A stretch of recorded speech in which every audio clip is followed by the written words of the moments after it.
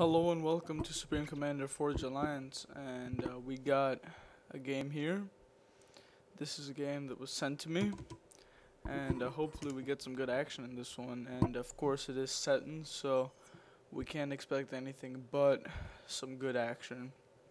So, this is going to be a cast where I don't really have a game from the top players, so we're going to look at some average, uh, you could say some averagely rated players. So we got uh, Tib playing in the back for the top team. Uh, OP11138 uh, is Beach for them.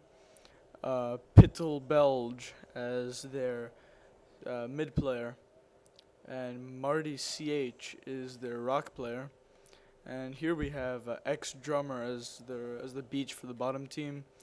Uh, Grandmaster Czech playing uh, mid Headhunter as Rock, and Nuclear Storm in the back. Uh, all unfamiliar faces. Uh, I know OP1. He was a friend of mine back on GPGNet. Uh, I've also seen Grandmaster Check around a few times, but uh, other than that, totally unfamiliar players. So we'll see how they do here on Setons. And of course, as always, the crucial point is the mid battle early on. Looks like uh, Pittelbeld just taking it a lot more seriously. He's got an ACU, an NG, tanks, Selen, uh, Grandmaster just going in alone. He's got an NG, but that's a very late NG. So he's going to have to make something happen with his ACU. Pittelbeld uh, spreading out his things nicely. He's got his ACU on the top reclaiming and his NG on the bottom. He's already got two of the mass chunks. That's 2k mass right there. Grandmaster is going to get the third one, but Pittelbelge has already reclaimed a lot more than he has. And you can see how much farther ahead he is in terms of reclamation. Grandmaster just sitting there. He needs to move here and start grabbing all this. Looks like we're going to see some aggression from ex-drummer, so that's really good. It's a promising sign if we see average players uh, being extremely aggressive. You can see a transport at minute 4. And it looks like Marty is being very late with his transport. He's getting it now. He's less than 50% done. So we'll see how that turns out. And Pillow Belge has somehow forced Grandmaster Czech into a huge retreat. And Marty says, give me more mass. Because if we look at Reclamation, Pillow Belge is already up to 8,500. And he's got so many more chunks. Grandmaster got something like 2,000. So massive difference for their teams. And now the drop looks like it will be successful. There is an interceptor, but that's not nearly enough. And if X-Drummer pays attention, now he's going to get a factory. Although it doesn't look like he's going to put too much on the factory. Looks like he is using just one NG for the factory and he's making other stuff with the other two NGs.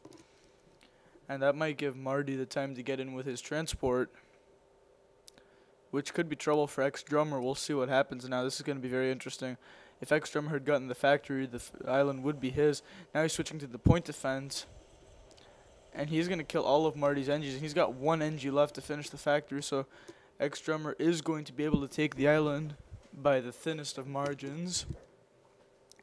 So that's going to put Marty in a bad spot, even though he is doing some good aggression here with a bomber he could take out the radar. That'd be a good target, but now it's going to be killed by an interceptor. But he did kill the engineer down here, so that's good. Final reclamation in the middle. Grandmaster with 2k. And Pittelbelge with almost 10k. So five times more for Pittelbelge. And uh, you can see the top three scorers are Tib, OP1, and uh, Pittelbelge himself. Although X-Drummer is doing very well. He's got his Tech 2 mass extractors. He's putting mass storage around them. Wouldn't be surprised if X Drummer is one of the old Setons players from GPGNet under some other name because this is very similar to an early form that Setons was played in. Nuclear Storm saying he's got horrible luck, although I'd say that his horrible luck is just his interpretation of not having enough NGs. You can see he has only, he's got a few, he's got one factory making NGs, it's not even making NGs. So nuclear storm with a grand total of 19 NGs minute 9. And if we look, uh, who's the back player for Tib, who's got a much better score? He has 83 NGs, still a pretty low number, but That's way many. That's way NGs more, and you can see that uh, that even with OP1 stealing one of uh, Tib's mass extractors, he's still able to do much better than Nuclear Storm just because of the build capacity he has. He can spend all his resources and get more resources. He's getting his Tech 2 power. Looks like Tib knows what he's doing. He must have played the back spot before or seen some videos. Now Nuclear Storm finally is getting some more build capacity for himself, but this is very late. So we'll see if he's able to do anything.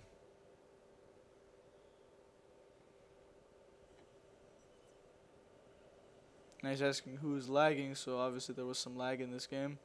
Looks like between Headhunter and OP1, it's very uh, it's very quiet. Nothing's happening in there. It's Seraphim on UEF, and at minute 11, no one has crossed the midpoint with any naval units. But X Drummer has managed to get this island down pretty well.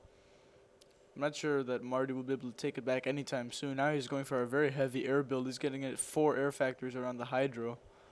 See what he's going to do with that. Taking some mass extractors to Tech 3. So Marty is definitely going for a huge economy. And he doesn't he's not making any naval units, so X Drummer has a fairly decent production. He's got one Tech 1 and one Tech 2 naval factory. But he needs more he needs a lot more engines. This is the problem with these players it's not that they're bad players, but they just don't know the principle of making enough NGs. You can see OP1 has a good amount, but uh, even this is not enough for minute 13. At minute 13, ideally you want pretty much all the trees to be extracted and to have all Tech 2 mass extractors and surrounded by storage. That's pretty much how you want it done. And you can worry about Tech 3 mass extractors, but OP1 isn't even close to having everything extracted. Looks like the only player who has an, a, a, good enough number of NGs is Tib, and even he could use a little bit more. Uh, Grandmaster Check, uh, just sitting on Tech 1 and Tech 2.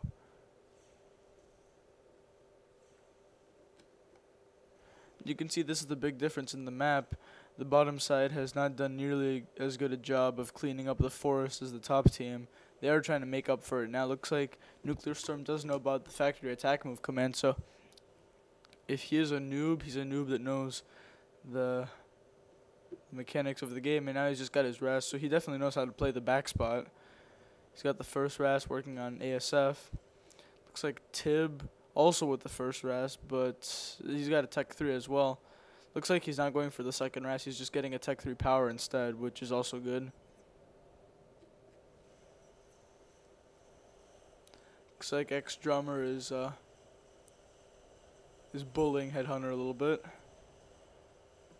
Telling him what to do. Looks like X Drummer is uh is feeling a little cocky here with his 11-14 rating, beating up on Marty, insulting uh insulting Headhunter.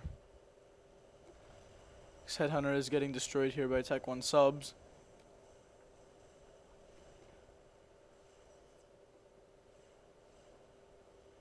looks like OP1 didn't make anything but subs.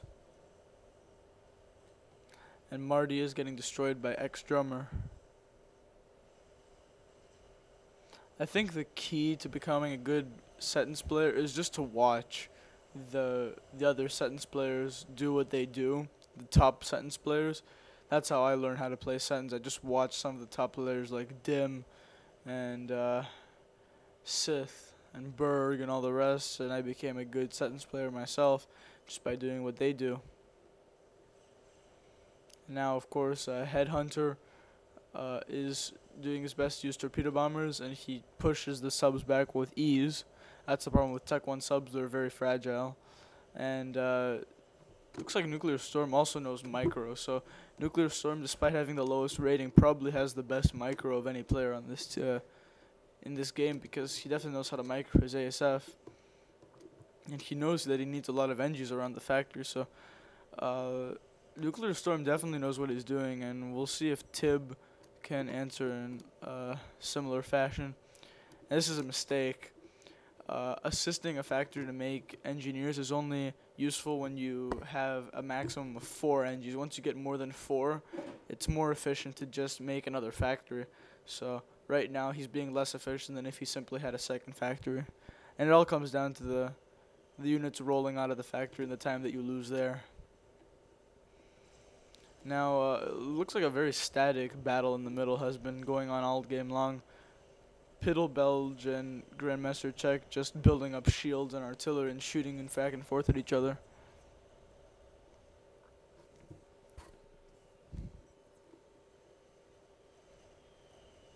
It looks like uh, Marty is able to repel against X Drummer simply by using some Tech 2. And this is, uh, this is crazy. This is ridiculous. Marty is to get four Tech 3 air factories. He's already got one. He's working on three more simultaneously.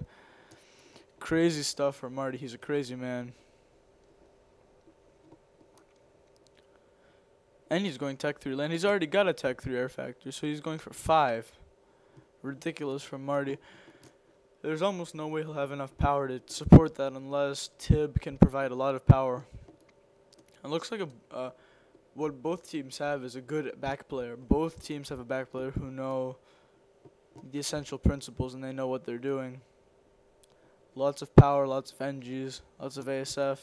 The only thing that I can fault Nuclear Storm for is not extracting the trees.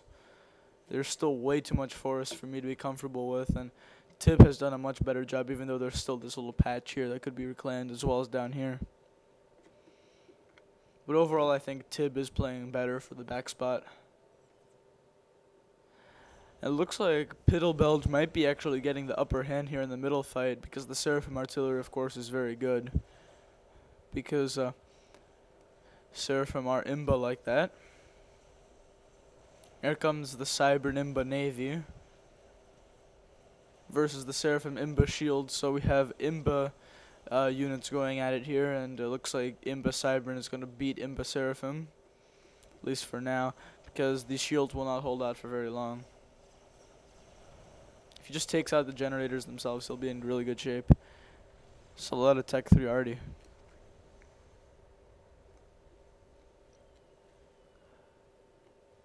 Looks like a huge number of ASF for X Drummer. And uh, Tib with a mistake uh, lets his ASF get killed by some cruisers. And the RD manages to push the Navy back for now. There goes a cruiser, and there's just raining shells, and looks like Piddle Belge with a shield generator on 9 HP is going to be able to pull out of this one. He's getting another shield gen. Uh, if he can get that up, then he'll be good. But it doesn't look like he will. He won't get it up. But uh, definitely still alive. But Grandmaster Czech must have just gotten an advantage with all this extra time to build shields.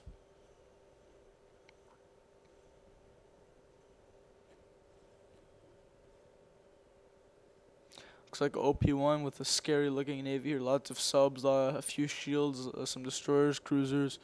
We'll see if uh, Headhunter has anything to deal with this. He's going Tech 3, so some Tech 3 subs could definitely serve him well here. And these will easily counter the Tech 1 subs.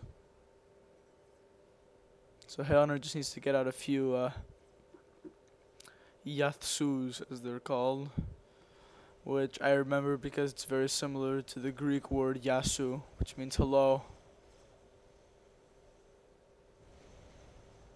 Of course, I'm not Gyle, so I don't know the names of every single unit.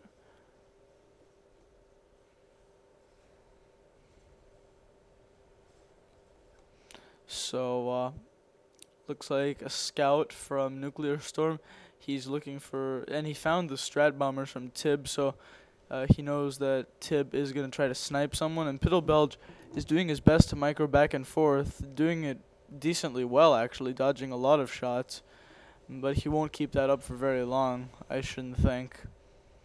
Although he might have managed to dance his way out. The units are trying to push in, but if he can somehow get into the other ocean, then he'll be okay, but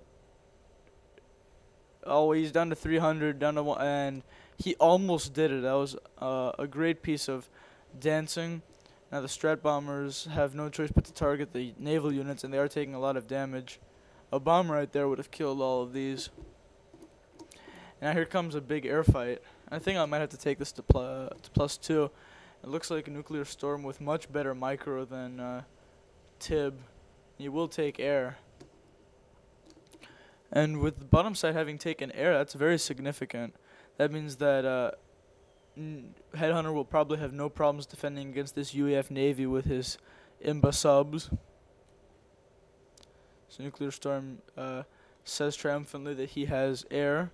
Of course, it didn't uh, prevent Grandmaster from almost losing his Tech 3 power.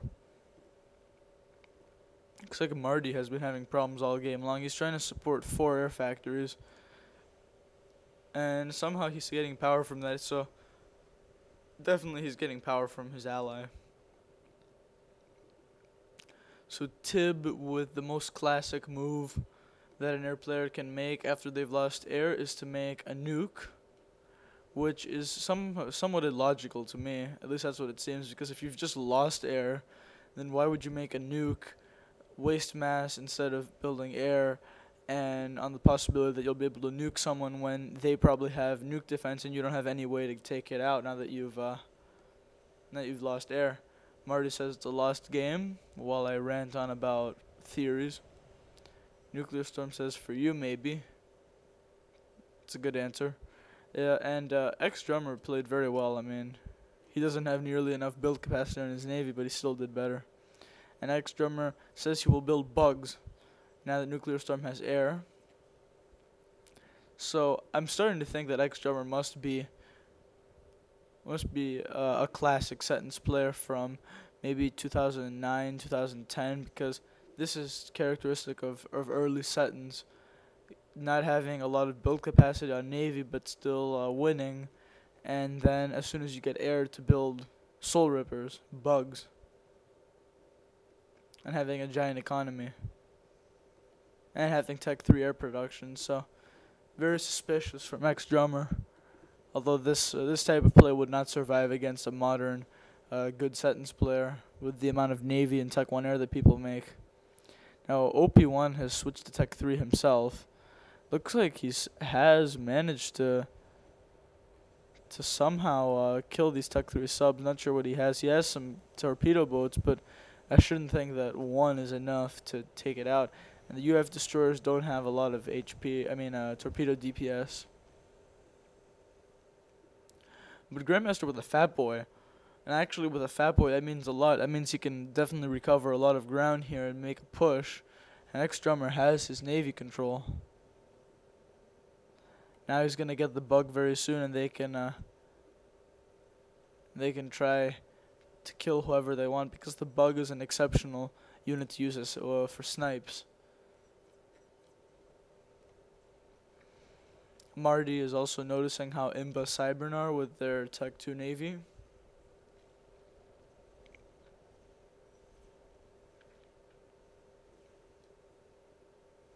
And Nuclear Storm is scouting. He's going to see a huge eco. He's going to see the nuke. Looks like X Drummer is going to move his Soul Ripper towards the Fat Boy. And now the top team has two ASF players because Marty has gone very hard into ASF spam. Uh, it seems that Nuclear Storm doesn't feel like he can keep up.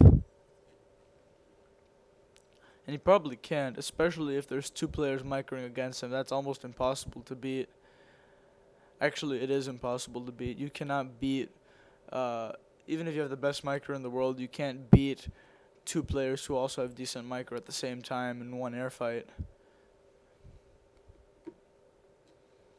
Here comes uh, comes the fat boy from Grandmaster. He's not escorting it with anything, so in fact these tanks would probably kill it right now because it doesn't have anything with it. Fat boy is good as a support unit, but not as a not to just attack by itself.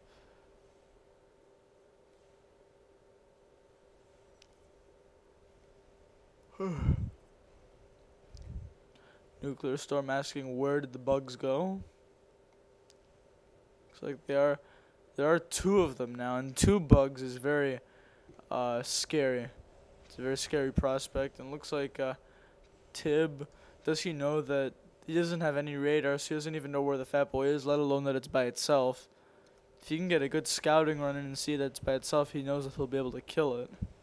If all this already focused on the Fat Boy, it would do a lot of damage. And the Chicken is about to come online, and that will uh, effectively put an end to this Fat Boy's dreams.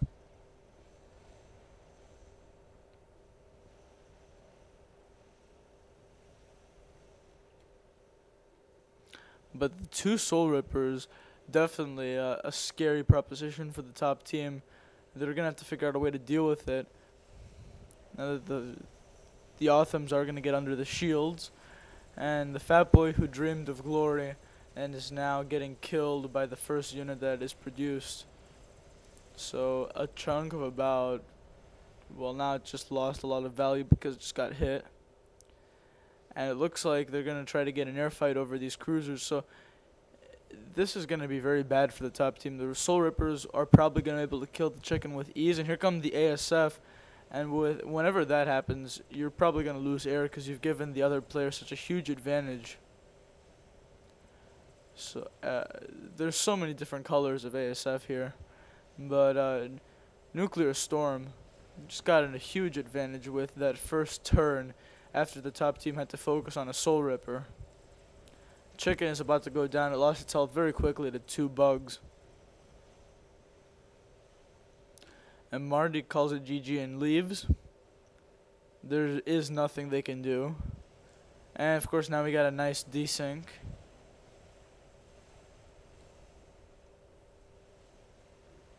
so no sense in having any of that. I think there is going to be a clear winner because when the other team has air control and they have two Soul Rippers, uh, that's, that's pretty much it. Although, uh, with Nuclear Storm pulling away, they might be able to take them out, but at this point, uh, there's no way back for the top team, so I think I'll stop this video here because it might still take a while to end. So hopefully everyone enjoyed this one. It was an unusual game from some average players, not the average pro players. So I'll see you guys next time.